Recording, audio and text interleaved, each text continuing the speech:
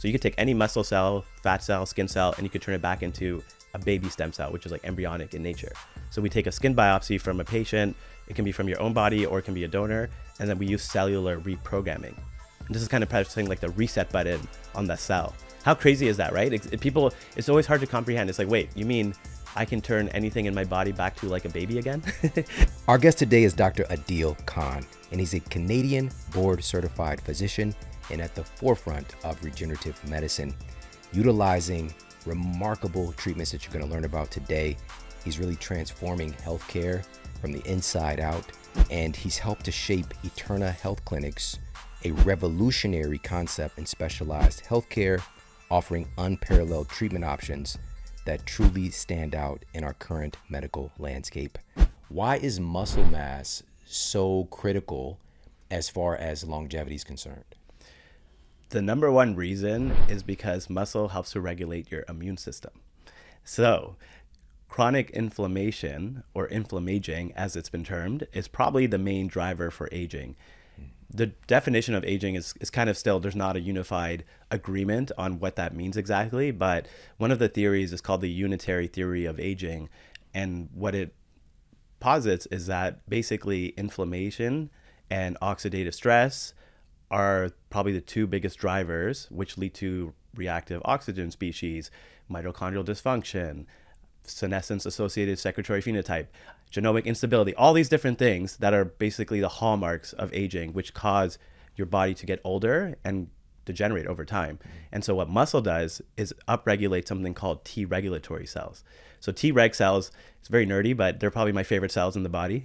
Shout out to the T reg yeah, cells. as a cell as a cell therapy uh, specialist kind of doctor, uh, I love I love to nerd out on cells. And T reg cells are these cool little molecules that so so T cells in general, people probably are wondering what are T cells. So T cells is thymus, they come from your thymus gland, um, and then there's B cells that come from your bone marrow uh, uh, bone marrow. So there's basically those are B cells, and those are both part of your adaptive immune system. And so adaptive immune system means like they have the memory and they can kill infections and pathogens and things that don't belong.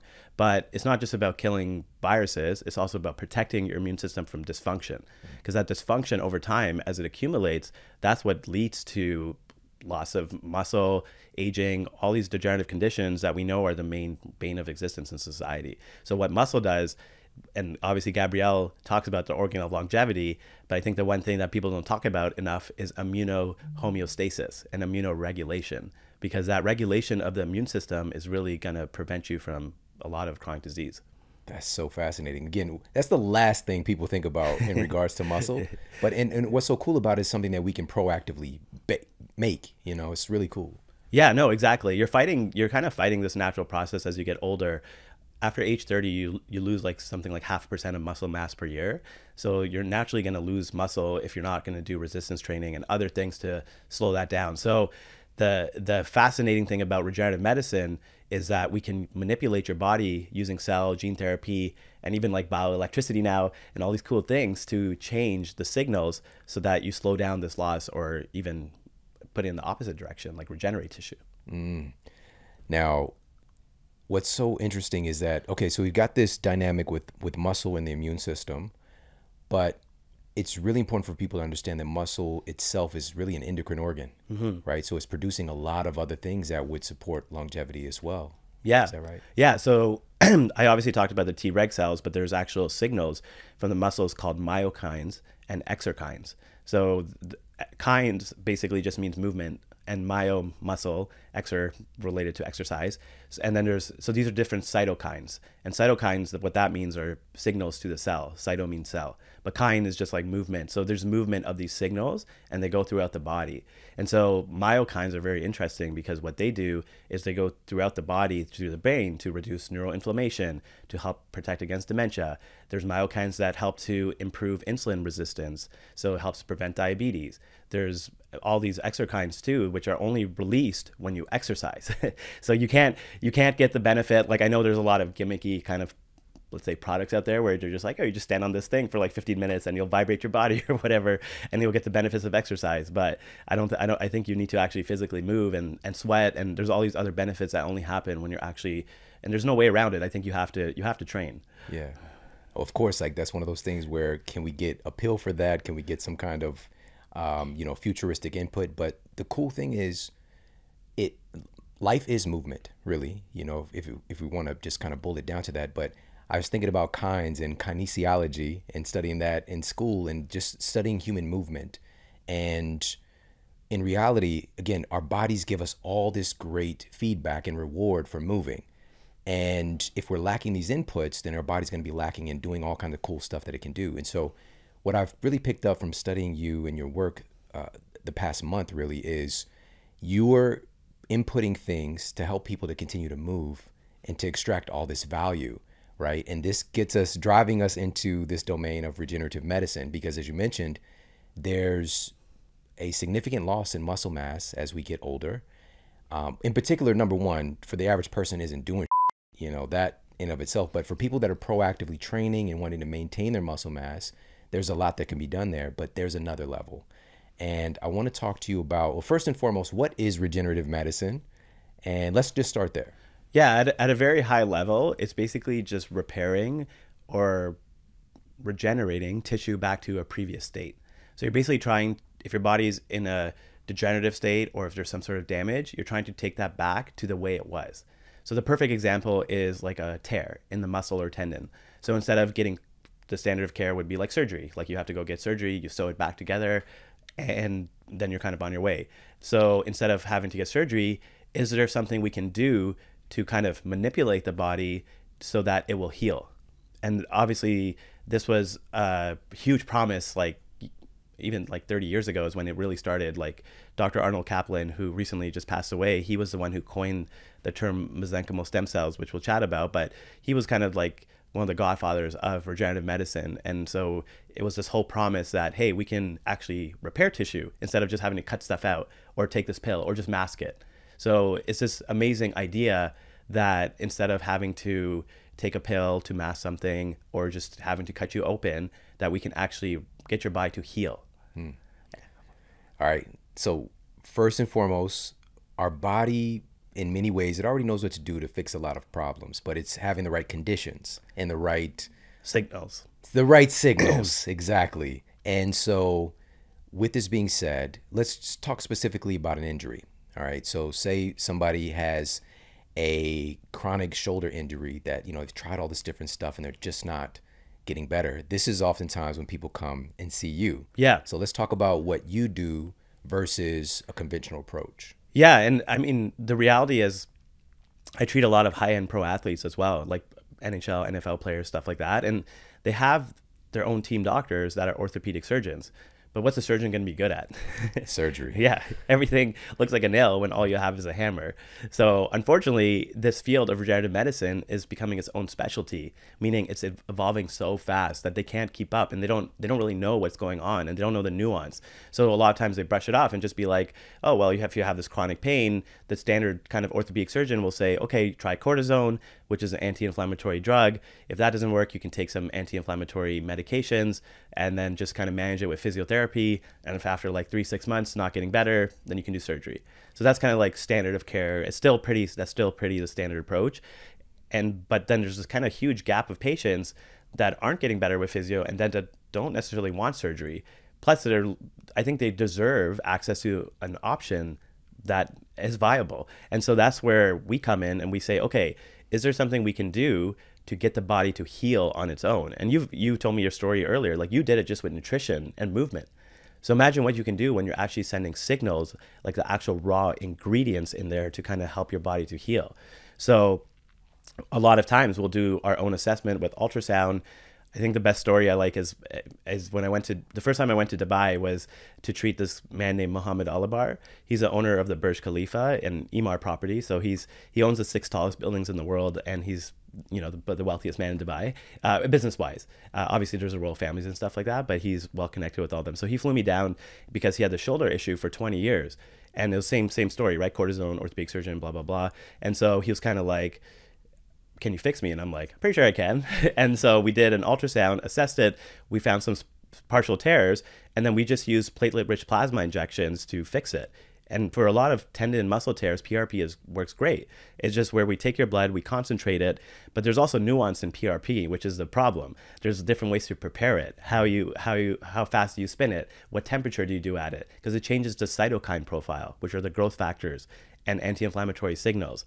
And I was fortunate because I got trained by Dr. Anthony Galea, who was kind of the godfather of PRP. He treated like Tiger Woods, A Rod, lots of people, and he was the one who actually invented PRP for musculoskeletal conditions. Mm-hmm. Like he actually was the first one in the world to do it. So obviously he's I learned from him, and so I got to learn about the nuance of how to prepare PRP.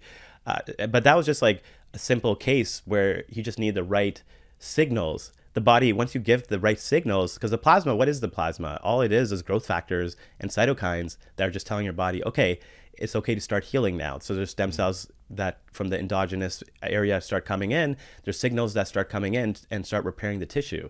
And then yeah, and then he was, you know, he's pain free now and he's good. And I, you know, his wife also had a similar issue in her knee. So, uh, you know, they were obviously, you know, like, what the heck? How come we never had access to? And this man also has access to pretty much any doctor in the world, right? right, right. So it's like if he if he was struggling with this for years, um, it's really hard for a regular person to know how to navigate the system.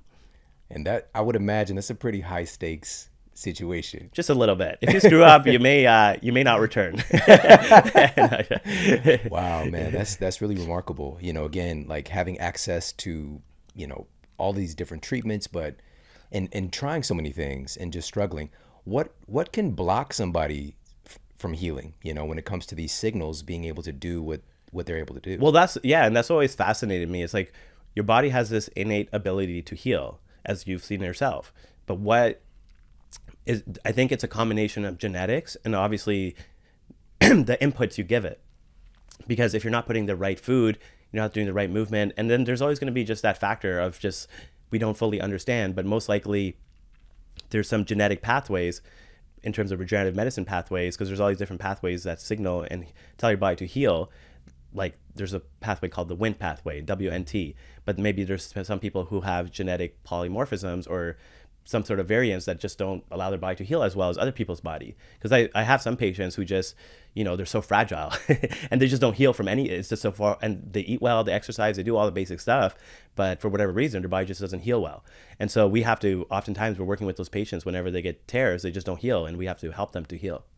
All right so you mentioned prp being uh, one possible treatment but you and we talked a little bit about this before we got started are somebody who's really at the forefront of understanding this, and it's super exciting. I actually did uh, a lecture on this at my uh, the university that I graduated from for their biology class like 10 years ago, talking about stem cells. That's so cool. Know, I was talking about, you know, totipotent stem cells and pluripotent stem cells and all these different things, just what we knew at the time, but there wasn't any there wasn't any valid interventions in medicine at the time to really talk about. Yeah. But we've come so far. Can you talk a little bit about that? Yeah, it's, it's exploding. And so I think for people to understand, because stem cell is such a blanket term, and there's different type of stem cells. So first, just a broad definition of a stem cell is something that can divide and potentially turn into different types of tissue and help to repair tissue. And the, the, the cool thing about stem cells is obviously their ability to regenerate new tissue. And but the issue is there's there's so many different types. So there's embryonic stem cells, which come from an embryo, and that's kind of like in the Bush era. There was a lot of controversy because obviously, if you're taking them from embryos, that's very different. And a lot of people still think like they're like, oh, so you're you're take are you taking? They still think that you know there's still a misconception. We're not taking them from embryos. We're taking them from umbilical cord tissue because that's a very rich source of what are called mesenchymal stem cells. And mesenchymal is just an embryological term, but the point is these mesenchymal stem cells are still very pluripotent, meaning they can differentiate into different types of tissue, but they're not totipotent, meaning they can't turn into any type of tissue. So there are certain cell lineages where they have a propensity to differentiate into, and typically that's going to be like cartilage, muscle, tendon, bone. Uh, but that, but we still use it for other organ systems, not because we're trying to necessarily re. We know it's not going to regrow you like a new pancreas, but what it can do is it can improve the microenvironment and allow your body to improve that chronic inflammatory process that's causing that degeneration in the pancreas with like type 2 diabetes. That's why there's been trials done where you inject just mesenchymal stem cells into the pancreatic arteries and patients can actually get off insulin. And we've had we've we've treated patients with that too with type 2 diabetes. But so mesenchymal stem cells have this amazing ability to heal and reduce inflammation, but then it's like, okay, can we engineer these cells to control the signals? And this is this is the part that I'm really excited about. It's it's called synthetic biology. So meaning instead of just taking umbilical cord stem cells and manufacturing them and then injecting them in, we actually genetically engineer these cells in a lab. And then we how we do that is using skin biopsy. So we take a skin biopsy from a patient. It can be from your own body or it can be a donor, and then we use cellular reprogramming. And this is kind of pressing like the reset button on the cell. It's called the Yamanaka factors. And Professor Yamanaka was a Japanese Nobel scientist. And the reason he got the Nobel Prize is because he figured out these are the four transcription factors. If we overexpress them, you can turn any somatic cell. So you could take any muscle cell, fat cell, skin cell, and you could turn it back into a baby stem cell, which is like embryonic in nature. How crazy is that, right? It, people, it's always hard to comprehend. It's like, wait, you mean I can turn anything in my body back to like a baby again? like essentially, that's what he did. That's what he discovered. But the problem was with these what they're, they're called induced pluripotent stem cells or iPSCs and or I like to just call them Yamanaka stem cells, easier to remember for people. So these Yamanaka stem cells, the problem was they're like embryonic, so they're they're too much stemness, meaning they can turn into tumors or they can keep growing.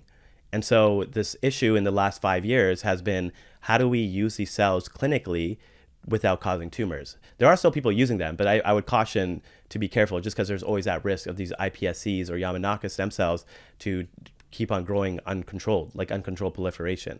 So what we're doing is we have we have this unique cell line that has a gene edit to prevent uncontrolled proliferation. So these Yamanaka stem cells will not grow into tumors. And that's the patent technology that we've partnered with the company for. And what we can do is we can take these Yamanaka stem cells and we can turn them into different cell lines and then we can control them. So we can almost control the signals that they're going to send. So instead of just being like a, a umbilical cord stem cell, we can control the signals that they're going to send.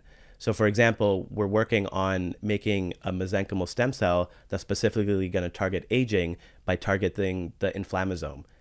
So this is it's, it's, genetic engineering, and then we can also create like beta islet cells for the pancreas. That's already been done in clinical trials. There's there's there's what's called iPSC derived dopamine producing neurons, which can be transplanted into the brain for Parkinson's, and that's that's clinical trial was published this year, and the results were amazing. Patients actually go into remission, and you actually get growth of new neurons so you're actually treating and reversing disease. You're not just saying, okay, well, I guess you have Parkinson's, so take this pill for the rest of your life. So that's why it's such an exciting field. So, so it's kind of this intersection of cell therapy and gene editing and gene therapy coming together for kind of that next generation of cell therapy. And this would, I would imagine, be a much more lasting treatment yeah. versus, you know, something again, you got to take a pill every day or whatever the case might be. Yeah, because you're actually repairing the tissue and you're regrowing new tissue that's going to be permanent and it's, it's engrafting so it's it's it's this is and this is already happening and this is just the beginning so imagine where we're going to be in like five years or 10 years it's going to be amazing for people with like chronic illness all right so and i want people to really get this so essentially the data or the signaling which once you said this just now it just makes complete sense because you know, we're so fascinating. Life is so fascinating, but there's data when we're born, there's data in our cells, in our genes to make an adult. The mm-hmm. data's there, right? But it's just a matter of signaling. It's a matter of, um, I would imagine, you know, certain things getting read a certain way. The same thing holds true as an adult. There's data there for a younger you. Mm-hmm. And you are talking about innovations that can read that data to control the signaling to start to basically print younger copies of ourselves. Is that right? Yeah, yeah. And that and that's the holy grail I would say of anti-aging medicine would be epigenetic reprogramming, which means basically imagine one day we can just reprogram all your cells back into a younger state. Which is not science fiction. Like I think that would happen at some point. For now what we can do is we can still infuse these stem cells into your body which has a systemic effect on inflammation. They're immunomodulatory. So meaning, because a lot of people think they're like, why would you put stem cells intravenously? Because they think you know you're trying to repair tissue and regrow tissue. But stems, the first generation stem cells, especially more than anything, are signaling molecules, meaning they are going to help to reboot or reprogram your immune system, which is called immunomodulation. And that's why it's been shown to help with like inflammatory bowel disease, rheumatoid arthritis, lupus, all these different conditions that are autoimmune based because it's rebooting the immune system. Because your immune system's kind of becoming haywire. So it's like, how do you get it back to a state where it's not it's sending the wrong signals anymore? All right. So hearing some of this previously, I had certain concerns bubbling up, which I want everybody to know. I'm going to get to those questions. All right. So just buckle in tighter and we're going to keep on this roller coaster. Now, the next place I want to go to is actually we're circling back to something you mentioned, which is just mind blowing in and of itself. You mentioned this as a highly effective treatment for diabetes. And not just, again, this isn't a a, a, a, symptoms treatment. This is actually addressing the root cause. So, can you talk a little bit more about that? Because obviously, diabetes has exploded mm-hmm. in our population today. So, let's talk about that a little bit more. Yeah, and again, what's one of the main drivers of diabetes? It's the inflammasome. The inflammasome is this pathway called the NLRP3 pathway. It's a very nerdy thing, but basically, this pathway, when it gets activated, it sends it activates interleukin uh, 1 beta and all these inflammatory cytokines. And those inflammatory cytokines are what lead to insulin resistance and prevent the cells from being able to read those signals from insulin and lead to this chronic inflammatory state that goes hand in hand with type 2 diabetes. So, with that understanding, because obviously people understand that my blood sugar is high, but why is your blood sugar high? It's because of insulin resistant, which comes back to chronic inflammation and the inflammasome. So that's that's kind of the gist of it. So with that understanding, what the stem cells are doing is when we inject them into the pancreas. So what we do is we infuse them via pancreatic artery injection, and we infuse them into the pancreas and liver, which helps to basically reduce that inflammatory environment, allowing your body to your beta islet cells to produce more insulin and reducing the inflammation so those signals get sent better so your body your insulin sensitivity improves so then that's how you can reduce the medications and even get off insulin there's a trial in India that was published this year. They had, I think, 40 patients or so, but it showed with just mesenchymal stem cells, like the first generation ones, that patients, many of them got off insulin. The ones who were on insulin actually got off. Like, how crazy is that? Just with one treatment. Right. And this, this will be an endogenous insulin production. I would imagine, like the receptor sites, all exactly. This, your body's intelligence is going to take over. Exactly. And that's the thing. Your body has this innate ability to heal, and we're just putting the right signals and environment for it to do it. So, and type 1 but diabetes is definitely more complicated because type 1 is there's an autoimmune component to it. And then there's also the fact that you don't have those beta islet cells that produce insulin. The beta islet cells are in the pancreas that help to make insulin. And so those are going to be in lower number and they get attacked by your own immune system. So, for that, the first generation stem cells will help, but they're not going to cure it so what what's being done? There's a company called Vertex that published a trial this year about uh, injecting beta islet cells. So you you use that Yamanaka stem cell, you make a baby stem cell, and then you differentiate it into a beta islet cell. So now you have these beta islet cells, and you transplant them via infusion into the pancreas, and now you have new beta islet producing insulin cells, and that can get patients actually into remission. But the problem with that specific cell line was that they were immunogenic, so people had to go on immunosuppressants. So the cell, we're going to be doing a similar trial later this year, but what we're going to do is we're using the the technology we have. You don't have to go on immunosuppressants, and then we're also going to have an autoimmune protocol using fecal microbial transplant, transplanting new gut bacteria and peptides and bioregulators to reboot the immune system so it doesn't attack itself in combination with the beta islet cells. All right. Th- this is revolutionary, you know, in this context with type 1 diabetes. But, you know, just to turn back a little bit with type 2 diabetes, which the vast majority is the the onset of this is because of certain lifestyle factors, uh, inputs into the body, you know, lack of movement, these different things. We know these are key components.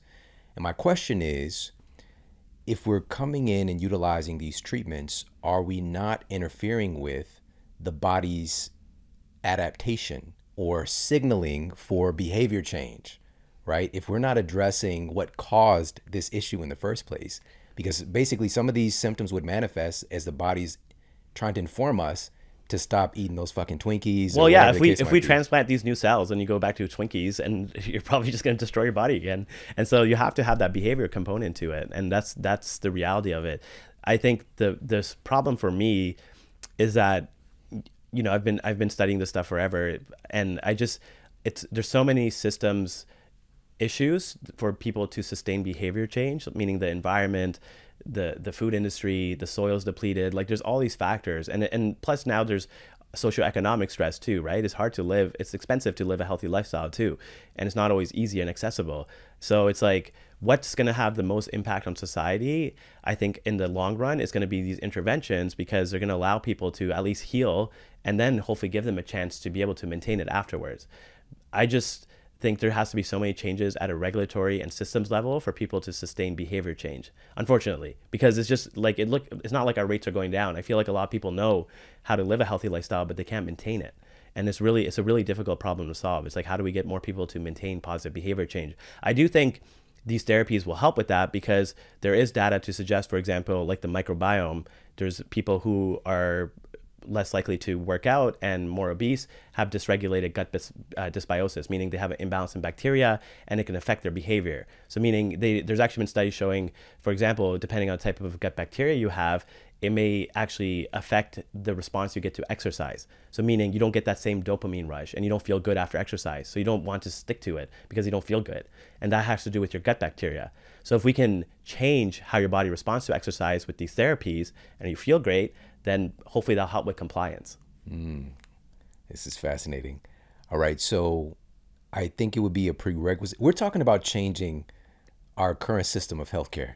All right so yes, with the new technology, but also with having a more, um, and I don't like to use this word holistic because it's been you know yeah. you know this has been, yeah and so but more of a holistic approach looking at all these factors saying hey you know what we've got this incredible treatment where you're not going to require these constant insulin injections anymore but you have to understand what caused this condition in the first place and so we have to have these adjunct lifestyle changes in addition to this treatment.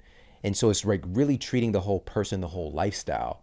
Versus today, you know, I I'm just gonna I mean, I can't really give an estimate, but I'm just gonna say like nine out of ten times the physician is not walking the patient through what caused type 2 diabetes in your body.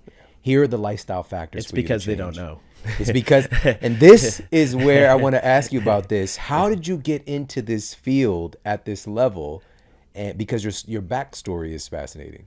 It's uh, it's just because I have ADHD, and so it's uh, it's also obviously I like to ask questions. I, I, was always curious.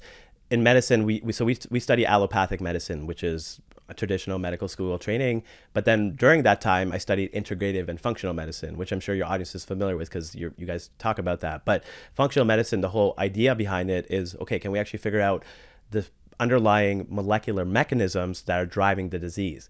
And the science of that has improved dramatically in the last 10 years. So I'm kind of calling it interventional functional medicine, where it's like we can actually intervene with these different cell and gene therapies and peptides and bioregulators and now microbes. And we can actually intervene to a cellular level and understand exactly what we're doing to affect specific pathways to get your body to heal. So that specificity is improving so much. And but unfortunately, the medical education system is still what's called system based. So you learn about the heart, you learn about the brain, you learn about the gut, but they're they're all connected. And that's and and what better way to demonstrate this to the world than aging? And that's why i think this huge investment of hundreds of billions of dollars going into aging research is going to help humanity so much because aging is the most complex chronic disease. And if we can solve for that we can solve for so many other chronic diseases. And because aging we figured it out. It's it's 10 to 12 hallmarks which i talked about earlier. We know what are the drivers of aging this is it's a pretty good unified theory now so now that we have that fundamental principles we can intervene and create interventions to actually address those. They're still being worked on, obviously, but the point is those molecular mechanisms. Let's call them. I like to call them first principles or fundamental principles of biology. Just like in physics, they had first principles that govern different laws, like like Newtonian mechanics, like the three Newton, like Newton's three laws, right? And so once you have those laws, it gives you a basis on how to innovate and how to figure out how things work. And the problem is doctors don't even know what those laws are because we're not taught them and it's not their fault. So we're taught just, okay, this is the problem at a surface level and this is how you're going to intervene from a drug or surgical solution.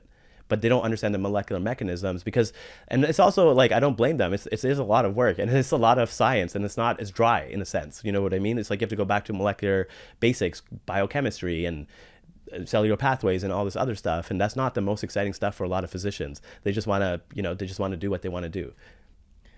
So when you were in med school you were already so you had your workload there with your conventional training but you were studying some things that were not a part of your curriculum i would imagine. Yeah no they were definitely not. So i read i read a bunch of textbooks that were not anything to do with what we learn about. And then so how do we go from you know med school into practice like were you what what was your pathway to you know again working with the the Burj Khalifa guy and Tony Robbins and all this stuff it was uh, it, I was lucky because I think I just saw things a little bit differently, and I knew I didn't want to be a conventional doctor. I had to start out that way because there's no way you have to still pay the bills, right? So mm-hmm. I still worked in Emerge, I still did the traditional stuff, and I had to, you know, but I never like it wasn't like I was passionate about that stuff. But then I was I was fortunate because I with, when I worked with Dr. Galea, he was obviously kind of the pioneer of PRP and sports medicine, and so working with him, I saw okay, this guy's obviously and there's a reason like why are I was like why are all these like high profile people coming to him if this stuff doesn't work? Let's just say it doesn't work, mm-hmm. or it's like be or it's quackery or whatever like these people whose lives depend on their bodies like high professional multi-million dollar athletes are coming to him there must be a reason so that and that's how I got exposed to regenerative medicine. But regenerative medicine is so much more now, especially it's it's it, like we were talking about. It's, it's signaling and it's so many. It's more than just plasma injections, obviously. And so that's kind of when I started going down that road. I kind of became very uh, good at treating people with sports injuries. But then I was like, okay, what else can I do with regenerative medicine? And then that's how I got into cell therapy and then cellular engineering and then gene therapy and, and then and then also like manipulating the body using peptides and bioregulators, which are signals that help with organ function. And so that's how and now it's like I treat a lot of complex chronic diseases that fall out of the regular realm of what doctors can normally do because we're looking at it from a fundamental principles approach. So meaning because a lot of people are like, "Oh, what kind of doctor are you?" And I'm like, I don't even know how to explain it anymore. Mm, yeah. I just say I'm a cell and gene therapy specialist because I don't. It's like I'm not really an intervention. I'm an interventional pain sports doctor by training, but like I treat people with like PTSD and trauma by injecting their vagus nerve and re- rebooting their nervous system. I treat people with like all these weird immune conditions and like long COVID and all sorts of stuff because I'm looking at, at the body from a molecular mechanistic first principles approach. So it's very different. It's like so it's hard to it's hard to put me in a bucket of just saying I'm like this type of doctor. And that's and that's the whole system that eventually I think medical education and there's a paper written by this by a great infectious disease doctor in like 2011. So it's not like new. He actually said like we need to change our curriculum to be based off molecular mechanisms instead of system based and that was like 10 that was like over 10 yeah. years ago and no one listened to the man so it's like so we're still i don't i don't see much change happening for a while but i'm hoping to at least like help with that movement but it's going to take the only way i see that change happening is for us to become like an institution, which means we become like a large entity with like you know like a, bio, a big biotech clinic based company where we're worth a lot of money, and then we can do endowments to universities, and then we can change the system. Oh, you just said it. I was gonna ask you about this, like yeah. because you, in many ways, this is this is a battle because we have a certain structure and it's very lucrative and it's very integrated into our current system of education. You just mentioned endowments to you know uh, universities, and these universities, for example, they're not trying to lose out on this money. Neither is you know right now our gross domestic product, like a huge portion of that is our healthcare system is and like tuition fee and tuition right? Tuition debt like in us is crazy. Right right. And so you know and I, I, shared this years ago man you know it was already like 4.2 trillion dollar healthcare system and here in the United States, it is the we we invest more into healthcare, seemingly superficially, mm-hmm. than any other you know developed country. But we have some of the worst health outcomes. Like something's not matching up, and we've got to be honest about this. I want to ask you about this.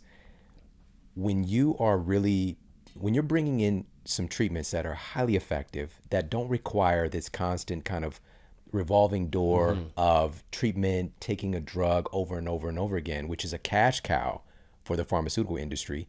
we're talking about we're talking about moving in on trillions of dollars of income for these entities. I would imagine they're not going to be happy about this. No, I've, I've been told by multiple people I should get a bodyguard, but, but I'm not there. I'm not there Your yet. bodyguard that you brought today Yeah, she- is, you know, sh- she, okay, okay. I'm gonna I'm gonna watch she's, my she's tongue. more fierce than uh, she looks. Yeah. yeah. She'll she'll beat you with fashion. yeah. Um, but you know, but yeah, just- it's it's and uh, the analogy I always use is Tesla because I was an early investor in Tesla, and so I saw firsthand how much mainstream media can create a narrative. So Tesla started like IPO'd like in 2010, and then from like 2015 to 2020, all the big hedge fund managers. All the big, all the CNN, NBC, everyone was like, "Sell, sell." Tesla's going bankrupt. Like, there's no chance. There, because, because why? because they're disrupting an entire industry that was based around internal combustion engines, right? So these other manufacturers, and there's only really four of them, four of the big four type of, you know, and it's like you're you're coming into their space that they've been around for like hundred years, and no one's ever succeeded before. So they're gonna do everything in their power to make sure you don't succeed. And Tesla was the most shorted stock in history. At one point, it was shorted 33%. Shorting just means like these hedge fund guys are betting that they're going to go bankrupt and they're going to make money when it goes bankrupt. and so that's why Tesla went something there was something called a short squeeze, and that's what I, I I was a beneficiary of that because these guys obviously because they're shorting it so much, and the opposite happened. Tesla did well, then these guys got burnt, and then that's how the stock went 10x in like a couple months. But what I learned from that experience was that the media has a really powerful way to control the messaging and what people believe and see and you can't always believe and see everything you read and that's just and that's just a fact. And i think it's it, if i didn't see myself with tesla i'd be like oh no you're just a conspiracy theorist. But after seeing that it's like and then covid was just amplified that right? By like and then it's actually i think covid was good for society in a way because it opened up a lot of people's eyes to be a little bit more distrusting of what their doctors say, of what the media says, and do your own, you know, educate yourself a little bit, get different sources. Don't just trust me and you either necessarily. Do your research, like find multiple people and find multiple sources. I think the best way to educate yourself is always try to, whatever view you think you know about something, challenge yourself by looking at the uh, exact opposite, and then try to figure out, okay, what's where's the truth. Yeah. And this could be obviously a very profitable business model, but the current business model is set up in a certain way where there's this, I mentioned this earlier, revolving door of patients and treatments, largely ineffective. We just keep getting sicker and sicker, losing more and more function. It's not really matching up to good outcomes, right? But that's the way the system is right now. And so encroaching on that with something, again, that can be profitable, if the system isn't set up for them to reap the benefits of what you're doing, that's a big part of the of the struggle. So I would imagine also, which happens a lot, you know, you, you see a certain industry starting to take off, and then the kind of later adapters or adopters start to jump on board, right? So you see the same thing happening with organic, Yeah. you know, labeling, right? So at first there's some fringe people doing this weird thing saying, you know, we're not spraying our foods with pesticides, herbicides, rodenticides, suicide, whatever. we're not putting that stuff on our food.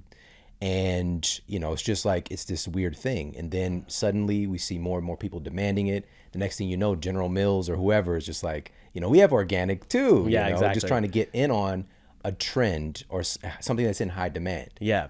And big big pharma isn't stupid. Obviously, they're a massive entity, uh, and they are figuring this out. And they're starting to get into cell and gene therapy manufacturing, but they're they are very far behind. And they're also trying to do it in a way. What they tried to do was like psilocybin, which was like they try to patent these things and then try to say like you know and make the price like a hundred times more, and and then try to corner the markets.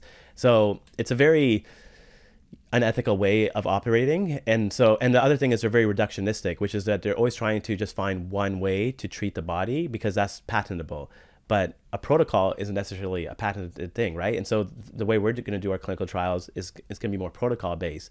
But then we actually want to get people better permanently. We're not just trying to keep them to coming back. And obviously making pills is also a lot cheaper than making cells. So from a operating like leverage perspective long term, it's obviously going to be way more profitable for them to continue to push pills and make it seem like this stuff is not really there yet. When in reality, it's already we're already treating so many people, and it's not like just just me in Japan, in China, in Korea, in Dubai. These are all places where these things are legal and approved for over 10 years. In the U.S., it's still illegal to do culture expanded stem cells, which are the ones that are manufactured and grown. So anyone doing them in the states is obviously taking a risk, but they're also but then you also have to question where they're getting it from. That's why I'm not a huge fan of the doctor. There's so many stem cell clinics, you know, in, in California and Florida, but they're all not doing it the right way. And You you actually posted something about kind of opting out of this the system in Canada. Yeah. And somebody reached out to you. Talk about that. Yeah, that was so interesting. It, it, so someone from they work with this uh, contract research organization, CRO, and then they work closely with Health Canada. And they're like, I, they're like, please don't leave, basically. And so we're actually doing. Uh, so they helped us to get approval. So we're actually doing a, a phase two study for our follistatin gene therapy in Canada for sarcopenia. Amazing. So, so follistatin, um, since now explained what it is, follistatin is a peptide that's been around for like 20, 30 years, especially in the bodybuilding community because it inhibits myostatin, which is an enzyme that sets a limit on how much muscle you can put on. So people have probably seen those jack cows, like those really yoke cows. There's because they have a myostatin deficiency. They have a genetic mutation where they make no myostatin. So obviously having less myostatin means more muscle. So it's not like so there's always this interest in myostatin for bodybuilders, but the problem is it has such a short half life. It only stays in your body for like 90 minutes, and so no one could really figure out okay, like who, who's going to inject himself like 10 times a day to be able to you know do that. I mean, I'm sure there's some crazy people, but for the most part, that's not a sustainable approach. So what our gene therapy vector does is it basically is a delivery mechanism to keep your follistatin levels high for about 18 to 24 months. And so that way you have one injection and your follistatin stays good for 18 to 24 months and that helps to de-age your body. We've shown it in our we did our phase one trial already. We had some patients who de-age their body by like 10 15 years based off intrinsic biological age reduction and then they have more muscle more energy more strength. It, make, it makes it easier to put on muscle and you just feel great. You feel a sense of vitality. And it's been and and, and obviously it's also going to be we're trying to get to be the first treatment in the world for sarcopenia and then hopefully have insurance companies cover it eventually. Oh man, this is amazing, amazing. So I want to circle back because a big part of the longevity equation for just the conventional mindset and treatments that are available right now is hormone therapy. You've got some really cool things going on as far as testosterone is concerned. Let's talk about that. Yeah, yeah. So using that same delivery mechanism, we can create what's called lutein- luteinizing hormone gene therapy. So you do one injection, and luteinizing hormone is the signal to your body to help produce more testosterone. So you're not taking exogenous testosterone. You're just you're just having this peptide vector. The vector is this plasmid, which is just a circular strand of DNA. And what it does is it just produces more of this luteinizing hormone, which will help your body to produce more testosterone. And the cool thing is with the LH gene therapy, you don't have to inject yourself with testosterone every week or take the cream. You just do one injection and you're going to be good for 18 to 24 months. So it's going to disrupt, obviously, the traditional TRT and HRT kind of industry. So it's going to be exciting to disrupt a lot of industries at once. I really wanted to have this conversation because you know a lot of people listening are very interested in and invested in taking care of their health. But I also wanted to be known and for us to be aware that we're living in very different circumstances than the than the environment that we evolved in, and we need to have things at our disposal, accessibility to, to things to help us to adapt and to address this ever changing, very strange environment that our genes just aren't vibing with right now. And so, utilizing science, utilizing innovations to help us is just a smart way to go because we can't. We're we're all living here in this glorified glorified snow globe together, you know, and we we don't have off Earth living as you know as of now, to our knowledge. yeah.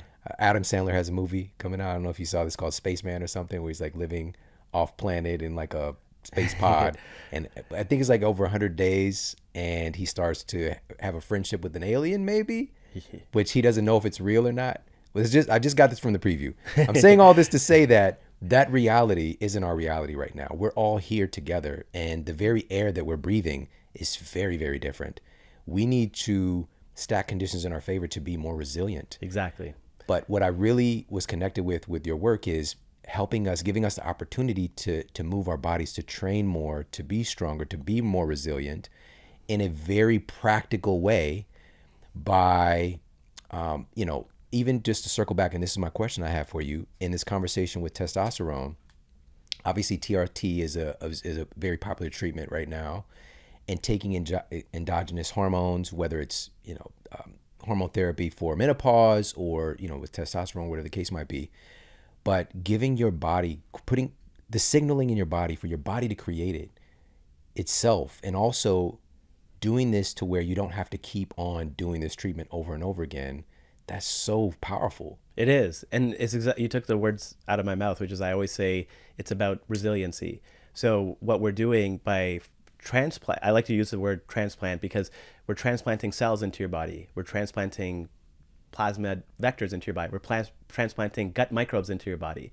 And all these different things by transplanting them gives your body more resiliency to deal with the evolutionary mismatch that we have as you said, our, there's a huge mismatch between our genes and our current environment, and that mismatch is only getting broader. what that and that, that means is we're going to have more and more chronic diseases, as we can see. The rates just keep increasing.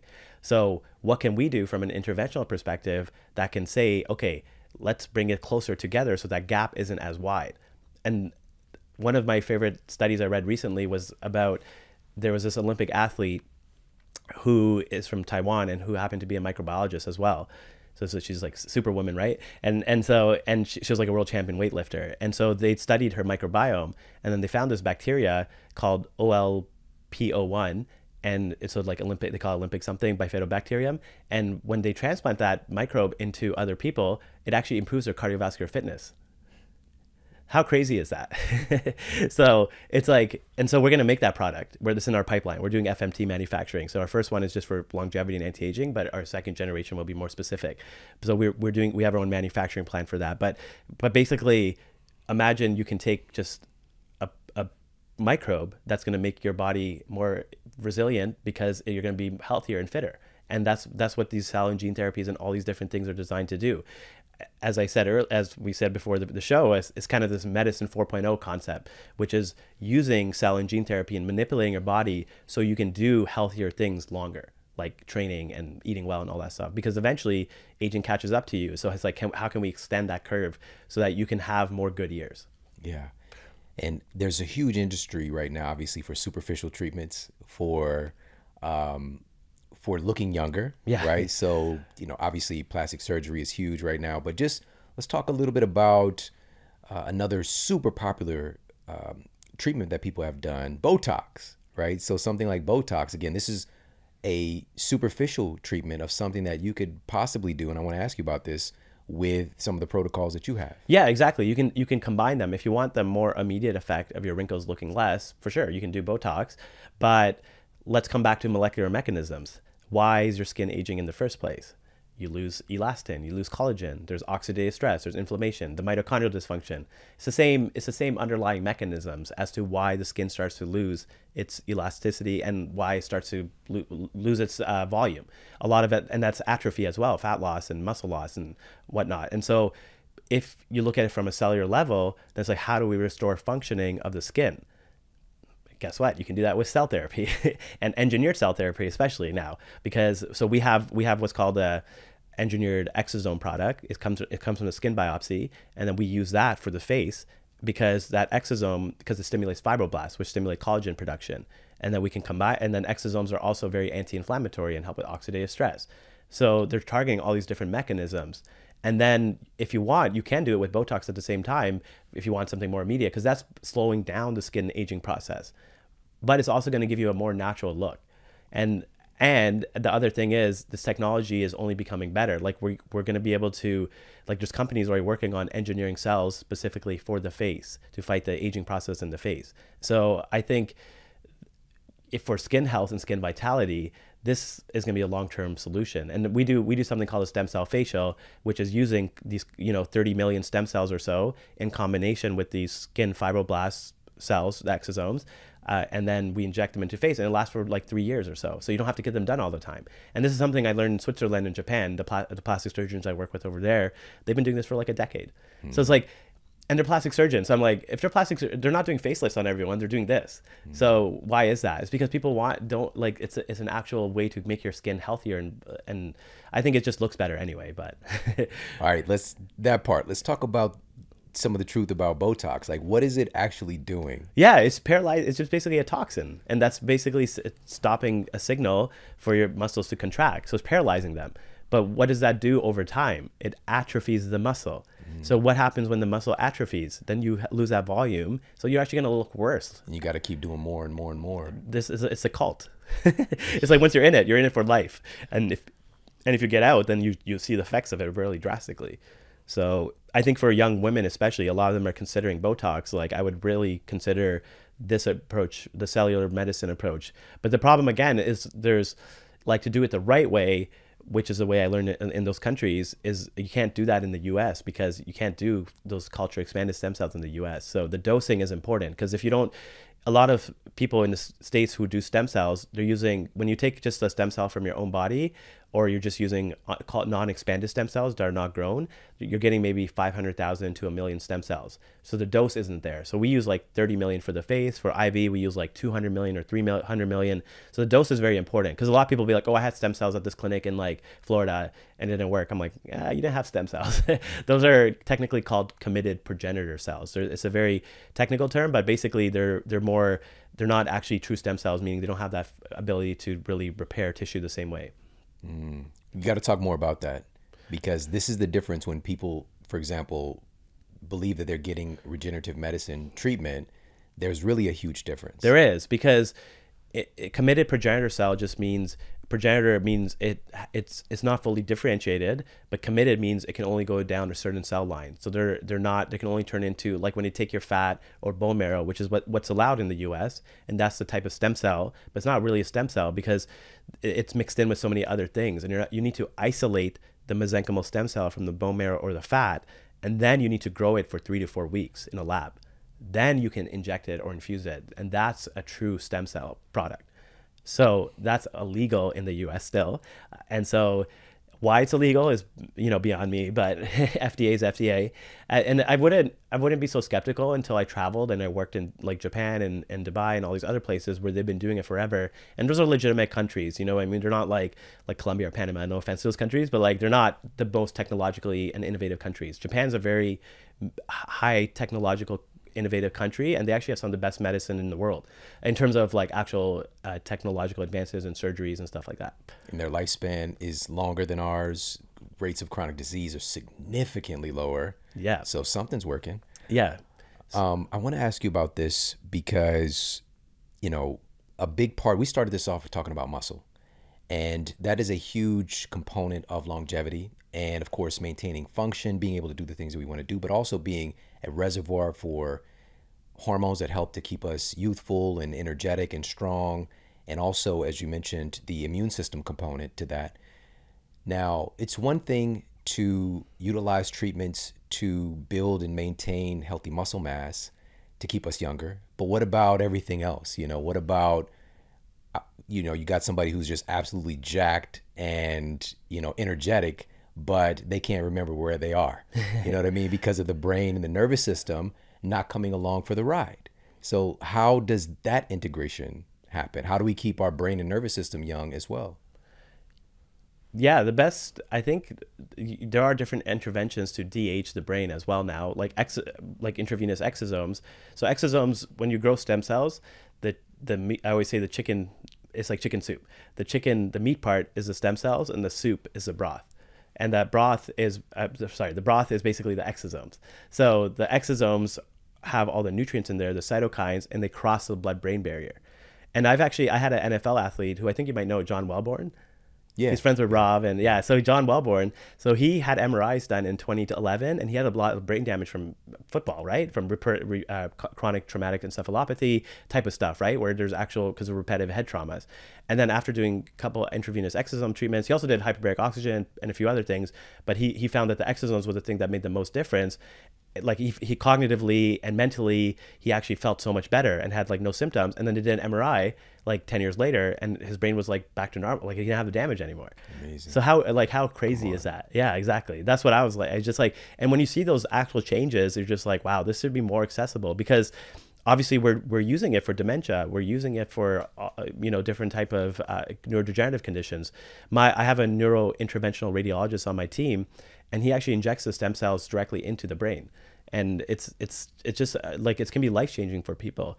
Uh, and this is just the first generation stem cells. The second generation, where we we differentiate them into neural progenitor cells or into actual specific cell lines that can regrow new neurons. It's just like they did in that study for Parkinson's. So that's that's where we're headed. All right. Now I'm going to ask you the big question. All right. Now, all of these are big questions, but one of the biggest fallacies that has taken place in recent human history when it comes to our health and medicine is this strange separation of our mind and body. It's it's just very it's I, it's remarkable to me how how strange it is. And recently, as of this recording, you know, the last person to actually sit in this chair before you, she's really considered the the mother of mindfulness. She's been at Harvard as a psychologist, first woman woman to receive tenure in psychology department I think she's been there for 40 years, something like that. And all of these studies just affirming how much our mind influences our health outcomes. Yeah. Uh, how our thoughts, you know, every thought that we think is altering our chemistry. And so I'm saying all this to say, what about this intersection with our our minds and being able to appropriately process our environment? The all we, what I, what I'm trying to ask you is we have all these different environmental inputs and our bodies are making adaptations based on our perception of these things. With these treatments are they going to be interfering with our body's innate intelligence to help us to adapt? No they they actually help to kind of re they only work where they needed. That's that's the cool thing about and i'm sure you know about peptides. That's kind of how so peptide the first peptide isolated and synthesized was like insulin, like 100 years ago, right? And it's a signal to your body to lower blood sugar. But now we have peptides that can help with like brain health, that can help with concentration, like Ozempic, that helps with weight loss, right? And so these these signals kind of work where they need it to. So it's more modulating as opposed to like a drug, which is forcing something. That's the big difference, and I, we see that clinically.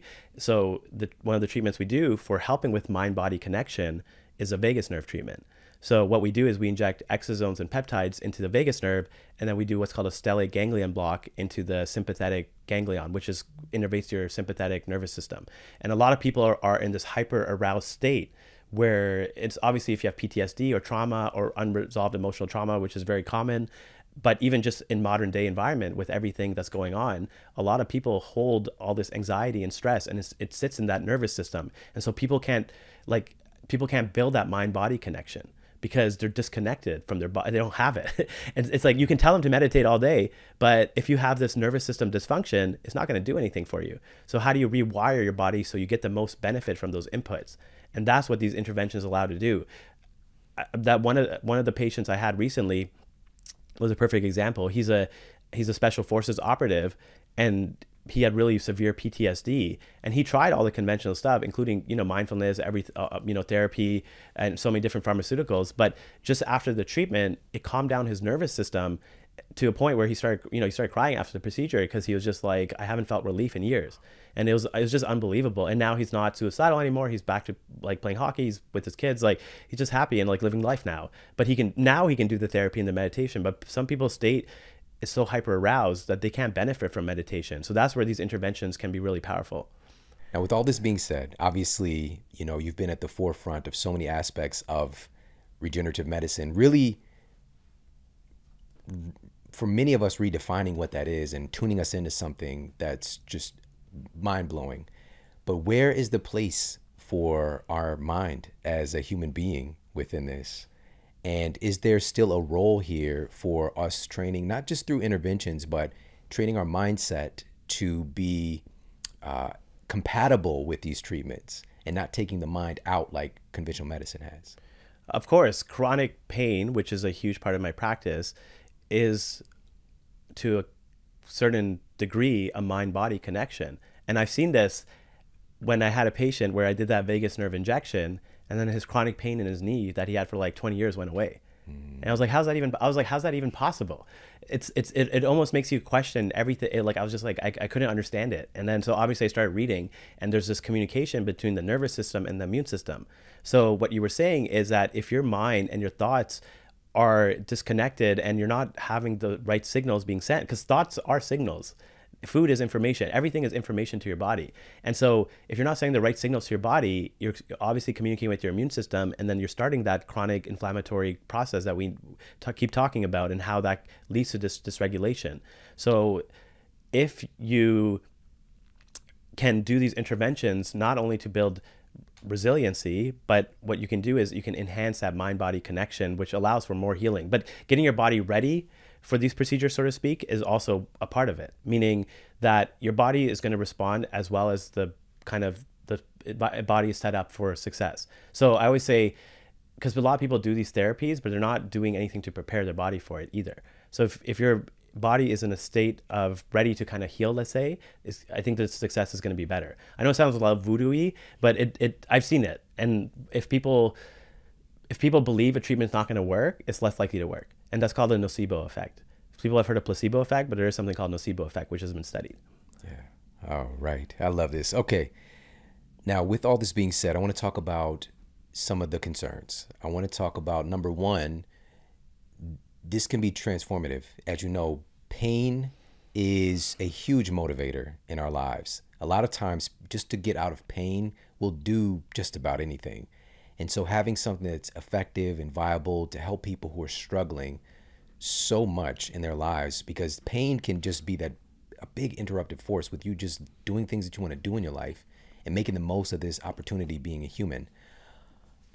What about accessibility for people right now? Because obviously we can stack conditions in our favor with certain lifestyle lifestyle practices, but again, something like chronic pain and not really being able to cut it with conventional treatments it's not working for folks. Is this going to be reserved right now for people who have accessibility to it? Because, you know, there's those barriers of finances, those those barriers of connections. Like a lot of this isn't even approved to be done here in the United States. Let's talk about that. Yeah, and that's why this is a long-term vision is basically we build off build enough data and we show the work. And there's a community of scientists. It's not like i'm the only one doing it obviously. There's so many people around the world doing amazing work. And i think as we come together and show to the regulatory bodies and to the insurance companies that hey this is actually going to save you money. Just just take a take a knee pain example. Like if you do stem cells for the knee and it works you've saved thousands of dollars in surgery and the rehab and everything that comes from a knee replacement right? And so you're actually saving the system a bunch of money. So it, to me, it almost doesn't make sense why this stuff isn't more accessible or isn't covered. Like in Japan, there are many stem cell procedures that are covered by insurance companies, so it's super accessible over there. But right now, you're right; it's it's it's fairly inaccessible. You have to travel out of country. You have to obviously it's not covered by insurance, and then you also have to you know you also you're, you're kind of there's also predatory people out there right because medical tourism unfortunately there's not a, much oversight in like Mexico or Colombia and all these other countries where people are doing it and so you have a lot of doctors who just are just you know taking advantage of vulnerable patients because when you're in chronic pain and or you have this chronic illness and you've tried everything, you're desperate for help. And you, if people are like, oh, stem cells will fix you, it's not that easy, right? Like someone's, people aren't always candidates and you have to really individualize it and you have to look at them and, and you have to assess them and be honest with them. And that's, I think that's something being a Canadian physician is a little bit different. I think we're just we're just taught to always just not think about the money aspect of things and just focus on like how do we help our patients. And so to that end, we we recently treated a bunch of military patients because you know we got a donation from a stem cell company to be able to treat them, and we are starting a foundation and a charity to help cover the cost for people. But that's obviously going to take time, right? And these things I think over time are just like any technological innovation are become going to become cheaper right? You remember I always like, I love the example of like plasma TVs in like 2003 they were like super expensive, like fifty thousand dollars for like a TV, and now you can get them for like 500 bucks, right? And so selling gene therapy is going to be the same. The technology, the manufacturing process, the accessibility, all that stuff is going to improve over the next decade.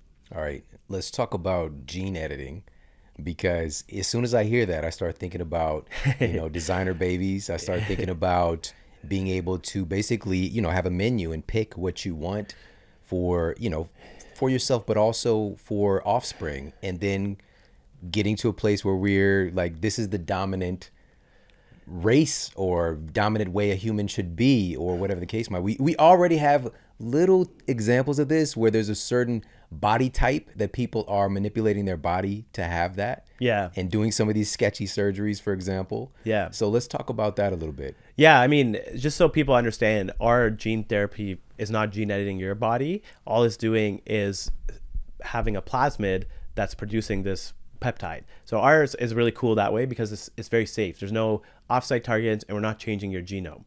But there's CRISPR, which has been around for a long time now. CRISPR is kind of like the world's premier gene editing technology and to your point, this is what happened in China, and that doctor actually got arrested. Um, but I, I'm pretty sure they just did that as a so basically he For he, optics. for optics exactly. yeah, because I'm pretty sure they're doing in in China they're already doing this because he gene edited embryos.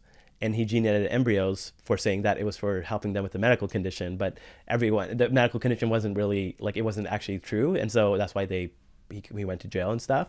But the reality is the technology is out there, mm-hmm. and there's if he's doing it, what's stopping other doctors or scientists or people who are willing to pay and like to do that stuff? And especially in other parts of the world where they may not have the same regulatory or, or ethical frameworks that we have, and so it does open this whole concept of designer babies and gene editing embryos and being able to customize them to have certain traits like increasing intelligence or or height or make them an athlete or this type of stuff right? Chinese lebron james.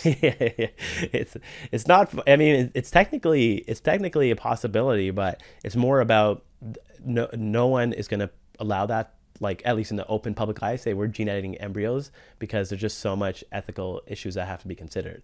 And i i i, I hope it i hope if it, it will most likely happen in our lifetimes but the key is how do we create like a framework to regulate it properly? I think that's the key to it right? It's just kind of like with this big you know not big tech stuff right? Like it, we didn't realize how much harm these phones have on our bodies and for kids and all this stuff but it's, it's there's no regulation created around it. But now i think we know we probably shouldn't be giving them to children at a young age right? But it's like this stuff and and so it, with any new technology i think you have to think about okay what's this going to look like in 20 30 years down the road and how do we prevent from the bad players in the space from taking advantage of it? So one other concern with that, you know, I've got I've got a few more, but one other kind of concern that might come to people's minds is regarding the stem cells themselves, right? So the accessibility, uh, viability of the highest quality, and I'm getting images, you know, I- not now, but previous to you know this conversation. Also, just I've been studying this for a a little while, but I would get images of like the Matrix and like all these babies jacked into this, you know, and they're getting farmed for resources, right? Yeah. So, can you talk about this because you mentioned the embryonic stem cells earlier, and there was a lot of controversy over that. But where are we really at? Are are we gonna require a bunch of babies jacked into the matrix for this? No, I, I- I think that's the problem with, especially in uh, less developed countries. Like in India, they recently made umbilical cord stem cells highly regulated to the point where they're essentially like banned now. And the reason is because there's people take there's people taking advantage of like those the farms essentially, where it's just like because people are a lot of them are desperate for money, and then they'll just have the, the babies just for getting the tissue and donate and making some money off of it. So the way we do it which I think is the most ethical way, is that after C-section births, where it's going to be thrown out anyway, you have the option to throw it out, or you have the option to donate it. And so that's kind of the way we do it, and that's that's how we collect them. And then there's obviously processes on donor selection and testing. There's a lot of nuance that goes into making sure these cells are safe. Because you're right you are putting cells into your body and you want to make sure they're not going to cause any harm. And cells can, can cause harm if they're not grown properly. The most common issue that happens in these other places in especially like in, in colombia and panama and these other places that are doing stem cells is that they do they do too many passages which is how many times you change the cell culture flask and it's called replicative stress. So if you basically you grow the stem cells too much, or you replicate them too many times, then you allow them to do like six passages, eight, ten, and essentially it decreases the cell viability, and then the cells can actually become senescent, and then that causes more issues because they become inflamed, right? Then they become senescent cells that cause inflammation, and so and then your immune system has to deal with that and clear it up. So our cells, we minimize the passages to three, and that's something I learned in Asia from the Japanese scientists doing it for a long time. And then also the culture medium, how you grow them, and there's all these like details. So I've done a lot of research and detail, like working with scientists from around the world to kind of figure out at least um, for now, what's the best way to manufacture them? And this is there is a that's the biggest nuance though is uh, we have something called early passage stem cells, and then we also the other thing to remember is these cells are not integrating with your DNA. They're actually they're sending they're stay there and then they send signals to your body's own stem cells to start healing and regeneration. So there there might be a little bit of engraftment, meaning some of them might stick around, uh, but they're not like it's not like you're going to become that person. You're not going to have that person's DNA in your body type of thing. Because a lot of people think that, and so that's it's not. They're they're actually there's been animal studies done where it shows most of the stem cells are cleared up within four weeks. But then they're they're sending signals, right. and the signals that they send are that's why it can have long term or permanent results. It's fascinating. One of the things that I really admire about your work is that you have a lot of tools in your toolkit, and I would imagine that this is going to be personalized right? It's based on the needs of the person and their goals versus again just and this is one of the things we can get caught up in in conventional treatments which is just kind of standard of care like this is yeah. just you know and so I, I love that so much.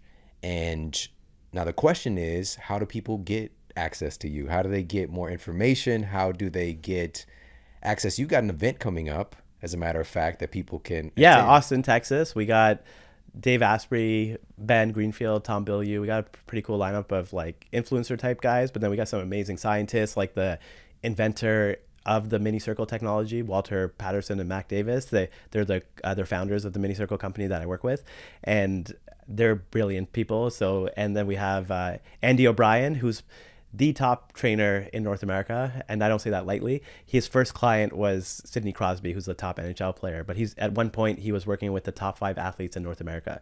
So he's uh, like he's worked with you know Steph Curry, Tom Brady, like a lot of uh, like top guys. So he's an amazing trainer, and he's gonna be talking about fitness and longevity. So it's a very unique lineup that I think people will really enjoy. And to your point, I have such a broad tool set because I saw all these people in the system not getting better. And so for me, it was always about trying to alleviate suffering and trying to help these patients. Because I'm, like I said, I was a sports doctor by training, but then how did I get into all this other stuff? It was just, it was honestly just a desire to want to help people who weren't getting help. And I was like, how do I help this person? And I just kind of, kind of kept reading and learning from different people. Amazing, amazing. So where can people get just into your world a little bit more? Well, our website, eterna.health. So our company is called Eterna. And then my Instagram at dr.akhan. I am super inaccessible at the moment, but I do have a team of doctors who are amazing, who've been trained by me, and they're wonderful, and they can help take care of lots of patients. Amazing. And also, where where can people get information about this event if they want to come and hang out? Yeah, on our website, eterna.health, and there's an event page there. Uh, there's still some tickets left, and hopefully, people who are interested in the space can make it out there to Austin. It'll be a fun time, and it'll be a cool audience too. Like we got Joan MacDonald, Chris Duffin, some cool people who are in the space. Gabrielle, I think, will be there too, and so it'll be a fun, fun networking event too. Awesome. So as of this recording and, and this publication, folks, you still got a couple of weeks to get tickets if there's any left.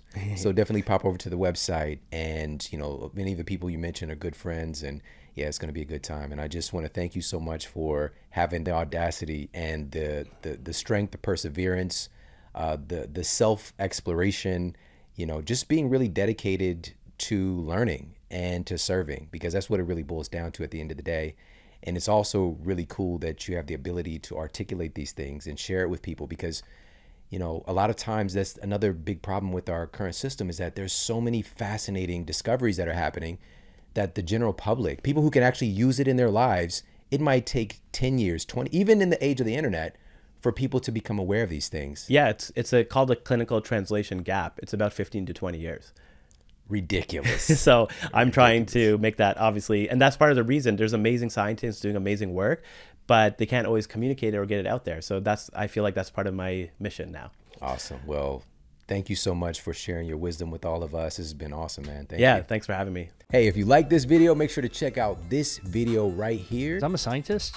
What scientists do is we are interested in looking at the origins of things. So where does fat come from? Like fat doesn't just automatically come up when we're adult and we want to actually lose some weight. Turns out what's amazing is that fat forms when we're in the womb.